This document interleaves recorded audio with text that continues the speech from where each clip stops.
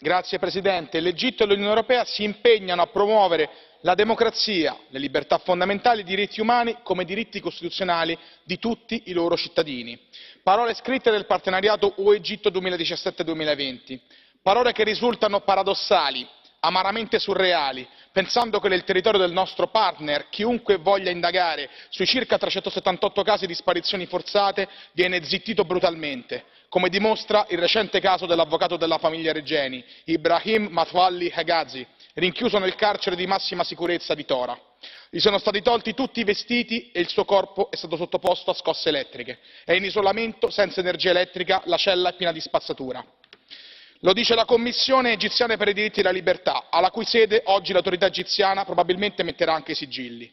rafforzare la cooperazione con l'egitto è un'aspirazione che condividiamo ma non possiamo chiudere gli occhi né far tacere la nostra voce davanti al vergognoso silenzio sul sequestro sulle torture e sulla morte di giulio regeni un ragazzo italiano un cittadino europeo. non siamo e non saremo complici di una utilitaristica ipocrisia e oggi come sempre chiediamo a gran voce verità e giustizia per giulio regeni.